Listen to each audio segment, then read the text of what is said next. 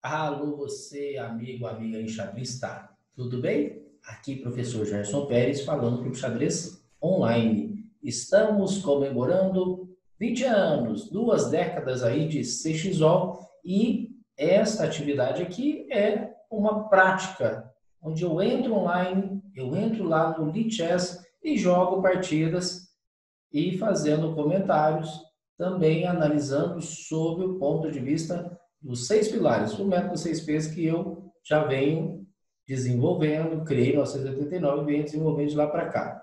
Vamos lá para mais uma partida? Opa! Já vou abrir aqui, fazer o desafio. Vamos lá. Pegando uma partida de 10 minutos, para dar tempo de bater um papinho com vocês. Aê, beleza! Vamos lá então fazer lance. Se não fizer lance, a gente perde pelo tempo. Vamos jogar o cavalinho aqui? Cavalo F3, vamos lá?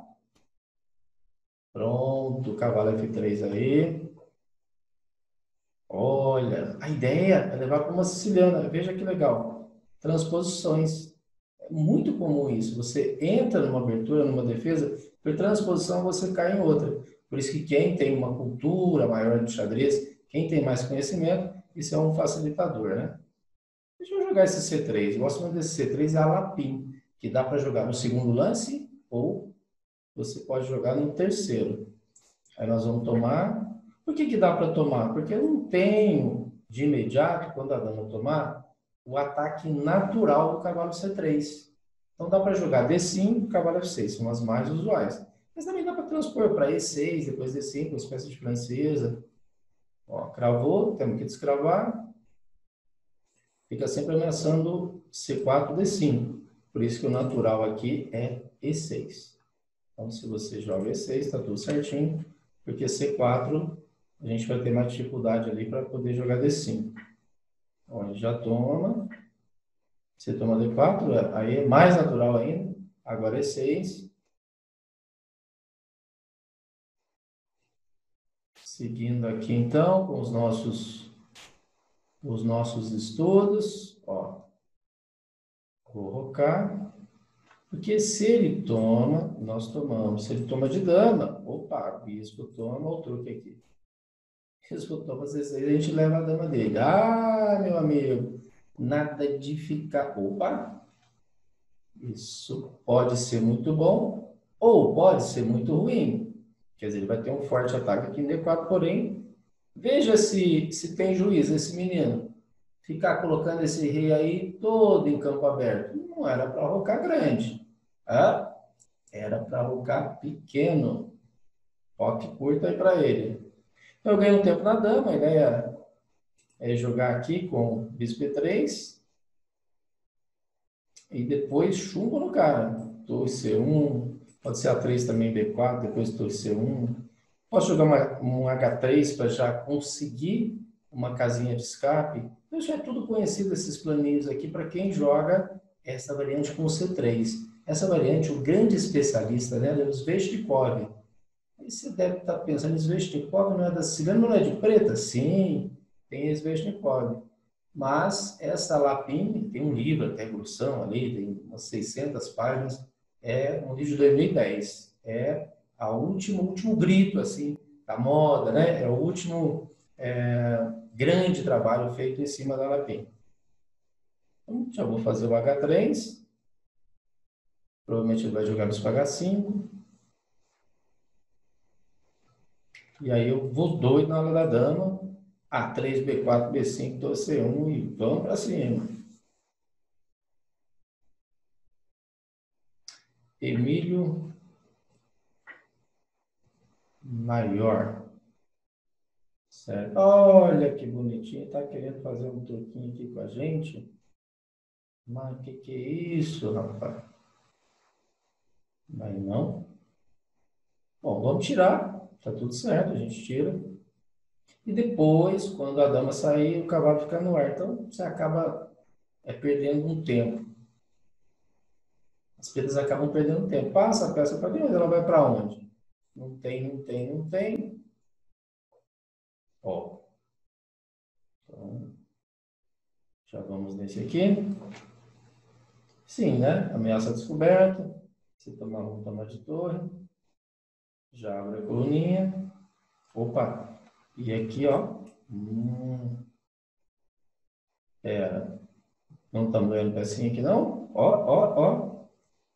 Veja que danada. Aê, menino! Beleza!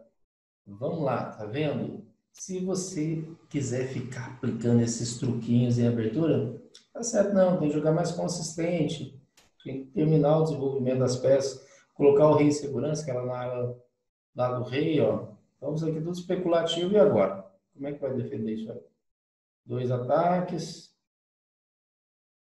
né? Ameaça bispo toma.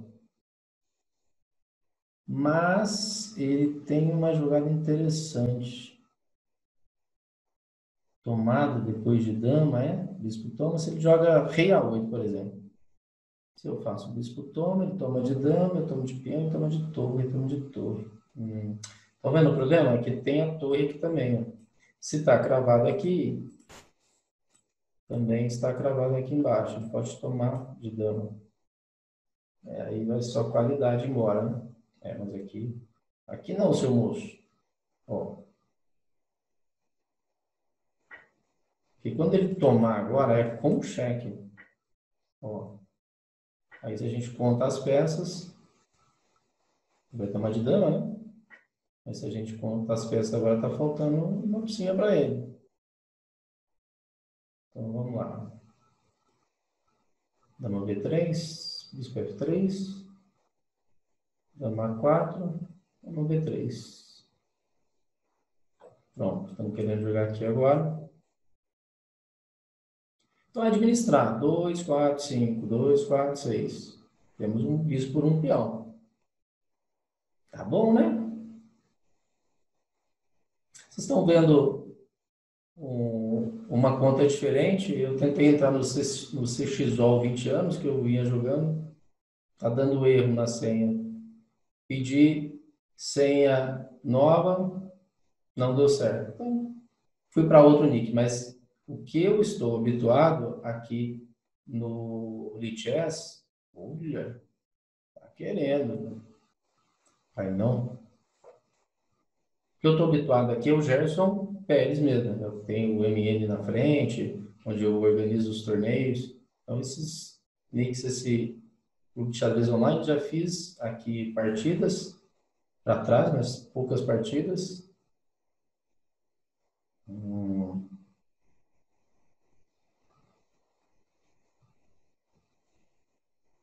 Então vamos lá. Torre 1, coloco para jogar, mas ele tem dama D4. Então agora é hora de colocar essa galera aí para jogar. Opa, e torre D1? Torre D1 tá bom. Tô querendo tirar peça. Ó, vamos colocar a peça para jogar. Certo? E trocar. Trocar para a gente é bom. Se ele joga torre D8, vamos tomar. Sempre tomando.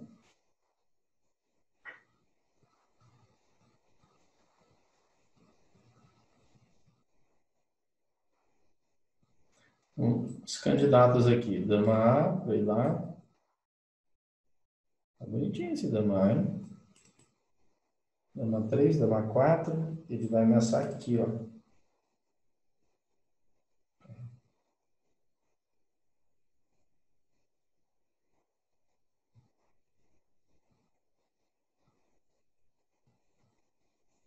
Vamos jogar isso então.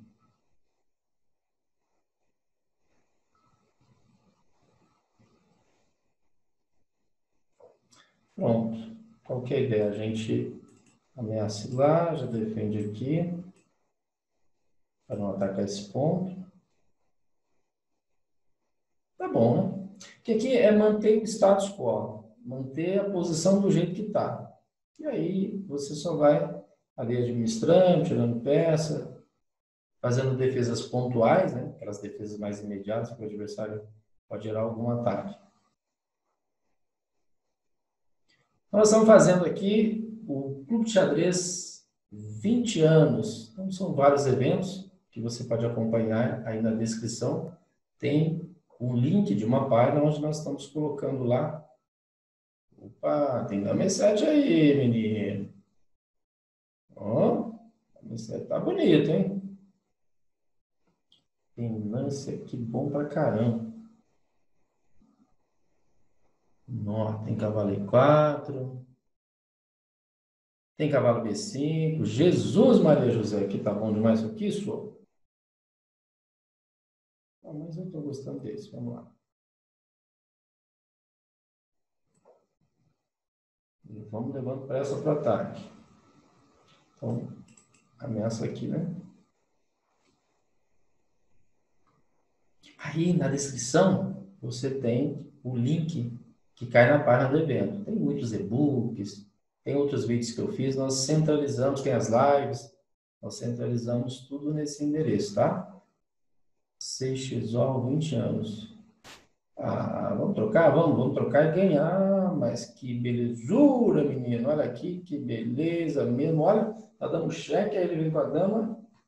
E nós vamos levar essa bichinha aqui, ó. Ó, ó. Toma. Tem alguma... Tá de mate? Não, né? Acho que agora ele vai abandonar. Vou dar um conselho para ele. Ou ele abandona, ou a coisa vai ficar mais feia ainda.